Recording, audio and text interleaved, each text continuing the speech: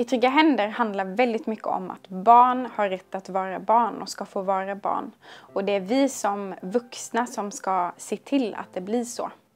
Kursen fungerar som så att man ses under en hel dag eh, och utbildas i att bli så duktig som möjligt på, på att sätta barnets bästa i främsta rummet.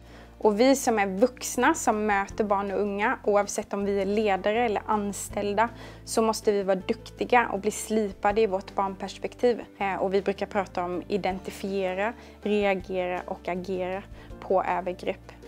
Frälsningsarméns material i trygga händer tar sin utgångspunkt i FNs konvention om barnets rättigheter.